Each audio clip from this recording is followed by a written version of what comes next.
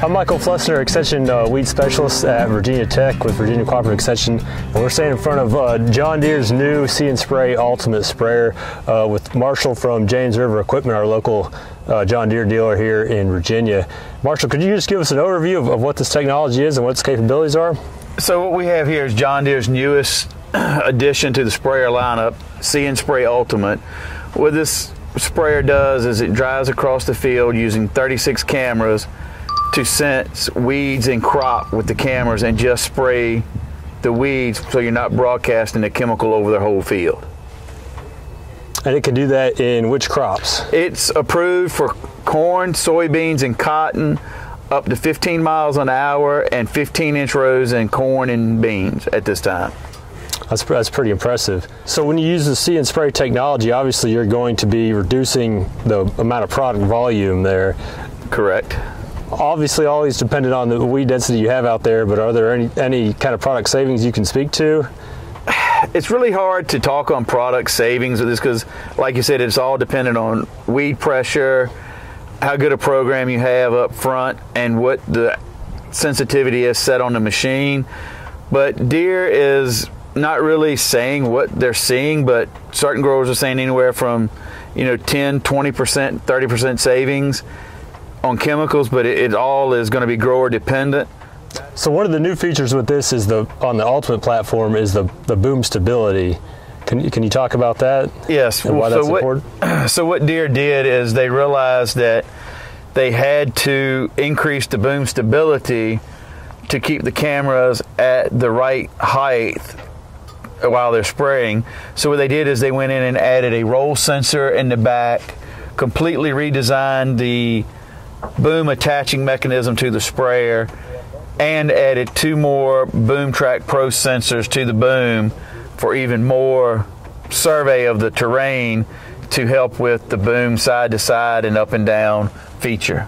And there, there's also a sensitivity setting that the operator can adjust inside the cab in terms of how sensitive is it picking up small weeds.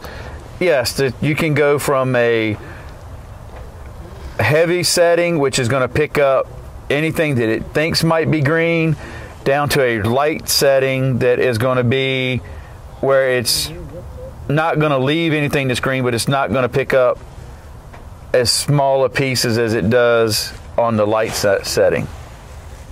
So what's the what's the price of the equipment? Right now, this sprayer, as it's set up with the See and Spray Exact Apply is list price right around eight hundred fifty thousand. Seems expensive, but it costs more to make a sprayer like this with all the technology that's in it, all the extra plumbing that's in it, in order to see a savings in chemicals. So it's not really about the price of the machine, it's more about the cost savings you see in chemicals, is what pays for the sprayer. In addition to the per acre fee when you're running the See and Spray correct technology. Okay.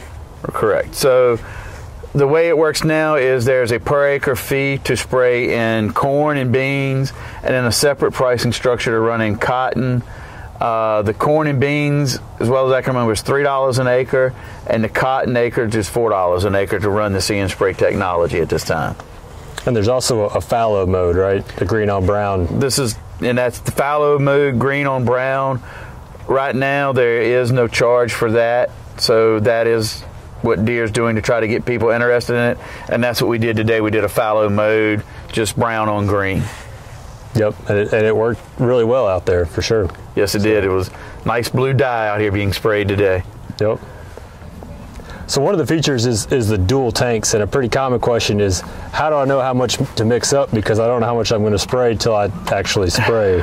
that that's a good question. Um, it all depends on your total acres that you want to go over is what I've been telling people. So if you're a thousand acre grower and you're spraying 10 gallons to the acre, the front tank, the and spray tank will do 45 acres. So I'd suggest you mix up a full tank, go out and spray till you run out the first tank and see how many acres you've covered, and that'll give you a judge as to how much to mix up for the second tank to spray so you know how it's going because that should be pretty indicative of the weed pressure you have, and that's what causes See & Spray to work is your weed pressure. Yeah. So, like with anything, once you get some more experience, that's really your best guide. Correct. That's it's just a, when experience based, because you might this time you might go over a thousand acres and spray 600 acres. The next application you might go over the same thousand acres and only spray 100 acres. It's just going to depend on weed pressure at this time. Okay. What are the, the challenge conditions? I know a lot of people are interested, like, well, what if the weeds right in that, that crop row and the can- crop canopy is kind of over it? Or um, if I've got um, like spraying double crop soybean and there's wheat stubble out there, are those challenging conditions or is it still capable of detecting those weeds? Those are challenging conditions, and all the testing that we've seen from Deere, it's pretty accurate in those situations you've described. It's all going to come down to exactly where the weed is at, and that's why most times you're running over the crop once or twice anyway. So hopefully, if it misses it the second, the first time, it's going to pick it up on the second pass. Mm-hmm. Okay. So, th- and this gen- equipment generates a map uh, when you're done. That's how, how exactly does that work? So the way this machine works is this machine is connected to John Deere Operations Center. So what it's doing is every four seconds, it's feeding information to the Operations Center and generating a map. And you can watch it almost real time from your phone, your computer, your tablet. And what it's doing is every time the sprayer turns on and sprays, it's making a red dot on the map and that is where your weed is. So it, you can look back at the map when you're done and say, okay, why do I have so many weeds in this one spot? And you can go out and physically look at it as the owner if you've got a hired man spraying, and you can say, okay, evidently I missed here with my pre application of herbicide, or there's not any crop here and it drowned out, and I've got weeds coming in. So it gives you a, another tool to look at more data to see what is causing the issue. So how does a farmer know when they're operating the machine that it's it's actually working well, it's, it's hitting the weeds um, and, and not spraying where there's not weeds? You can look at back behind you because with AutoTrac you're not having to pay attention to where you're driving.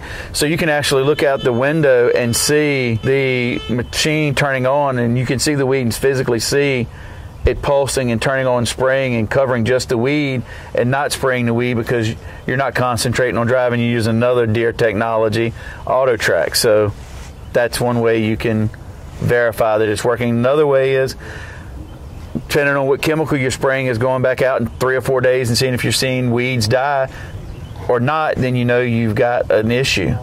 Mm-hmm. Another question I've heard is, is what about night spraying? Right now, the See & Spray technology is only approved for daylight use because the cameras need light to be able to see the green.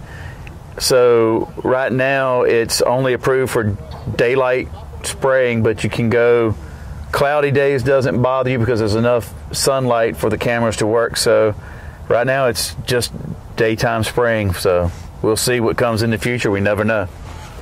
All right.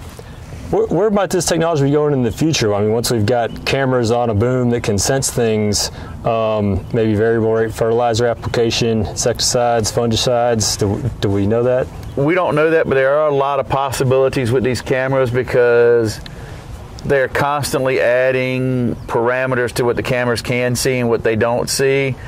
And the technology, I think, is getting ready to just really explode with this camera because if you're driving across a crop and you've got a camera taking 120 foot wide view of all the way across all of your fields, there's got to be somebody out there that's going to introduce some technology to make the cameras better. To, you know, we already got, you know, infrared cameras coming out on drones. So who's to say they don't add infrared cameras to spray it or measure crop health? Yeah, lots of possibilities in the future. It'll be exciting space to, to watch. Correct. Great. Well, thanks so much for your time today. It was great to see this equipment run. Very impressive. Glad to be here.